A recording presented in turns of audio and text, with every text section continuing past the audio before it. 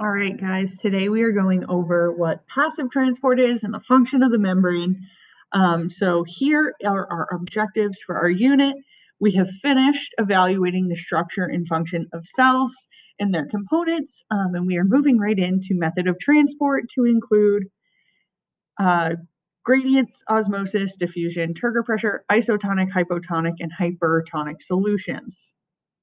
So the cell membrane forms a boundary between the cell and its outside environment, and it controls what can and cannot enter and exit the cell.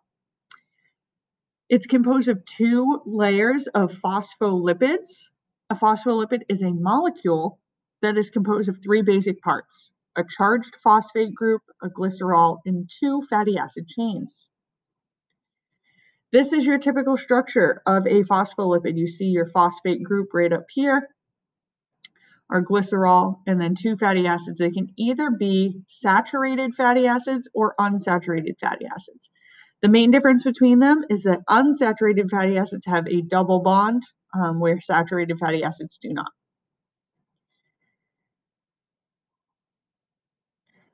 The cell membrane is consistent of a double layer of phospholipids, where the outer layer, your phosphate heads, are hydrophilic, meaning they are water loving.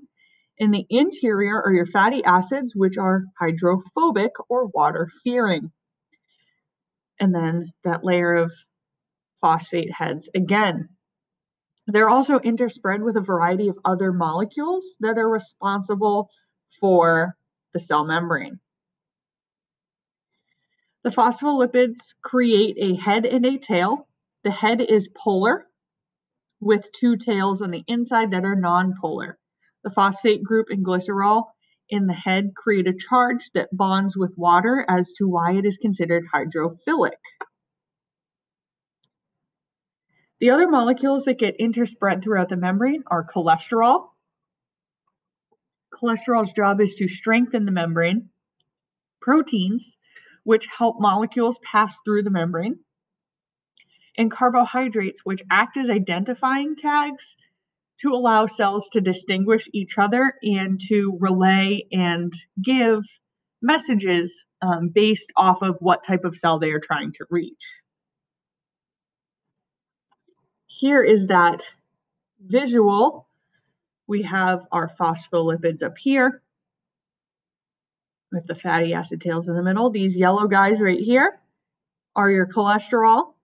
You have proteins in that carbohydrate chain that says, hi, I'm a skin cell, or hi, I'm a liver cell, or it may have a signal attached to it saying, I'm waiting for this signal from the brain.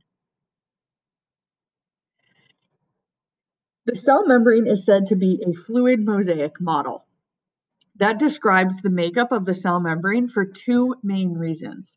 First, that the cell membrane is flexible.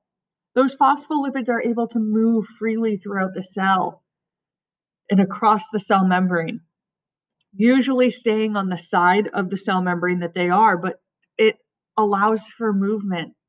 Cell membranes are not rigid structures, they're not permanent, they're ever changing. And then, second, is that the variety of molecules that stud the membrane resemble the arrangement of the colorful tiles that make up a mosaic. And mosaics are always random. No two cell membranes are going to have the exact same placement of all three of these molecules. The cell membrane is said to be selectively permeable or semi permeable. These two words mean the same thing, but it means that some molecules are able to pass through the membrane while others are not. This enables the cell to maintain homeostasis or a stable internal environment in spite of unpredictable and changing conditions that are happening outside of the cell. Our bodies maintain homeostasis all of the time to help our cells maintain homeostasis as well. Molecules can pass through the membrane in three different ways. First, small nonpolar molecules are able to pass right through the membrane without assistance. Second, small polar molecules must be transported through protein channels. And third, large molecules are have to be engulfed by the membrane in the creation or destruction of a vesicle.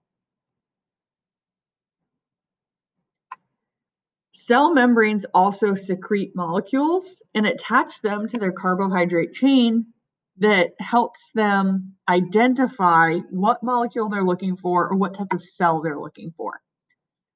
All molecules act as signals to communicate with other cells, and that could just be sending a signal somewhere or passing made proteins from cell to cell until it reaches its final destination. This is done by the use of receptors. A receptor is a protein that detects a signal molecule and then performs an action in response.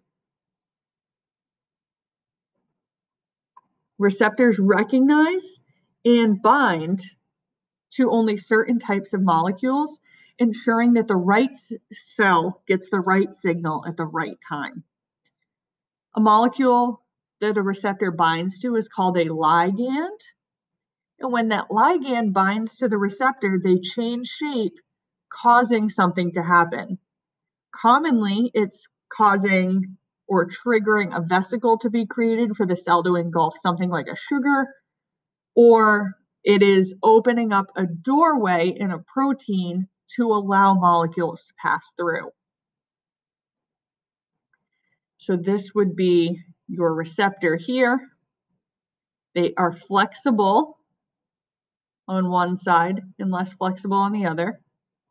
When the ligand binds, it changes shape, allowing molecules to pass through into the inside.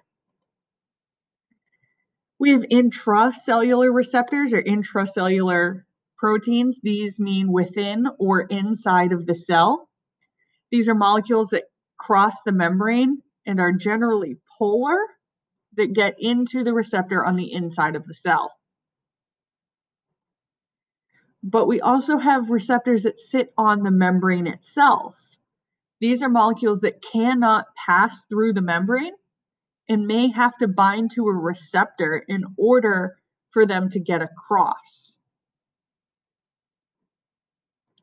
And that is passive transport.